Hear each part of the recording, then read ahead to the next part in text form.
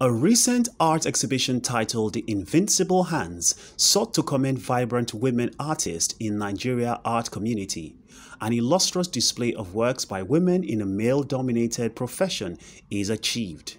Curator Olufisayo Bakari tells us the inspiration behind the exhibition. It's still very much in the hands of those that are able financially to purchase artwork.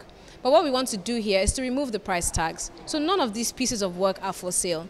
And we're doing it very intentionally by educating people through history and culture to say that, you know what, let's leave the money conversation for now. Let us teach you about what these women can do and their ability to produce work with the skill of their hands. Although the Nigerian art community is still evolving, art enthusiasts who visited the event and featured artists shared their view on art appreciation within Nigeria and beyond.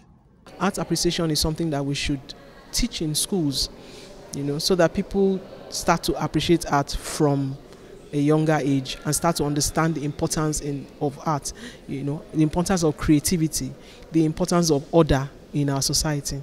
I think that artists should do more to reach out to each other and also people that are involved in art, the lovers of art, the collectors of art, the buyers of art, can also invest in that. That is creating spaces that artists can come and um, connect. I believe we are at a point where we have to communicate that creativity.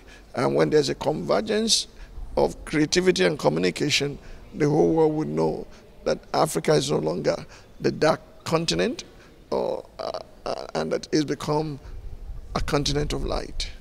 The event, which featured paintings of mixed medium, predominantly African fabrics like Adire, was held at the Yemisi Shyllon Museum in Lagos.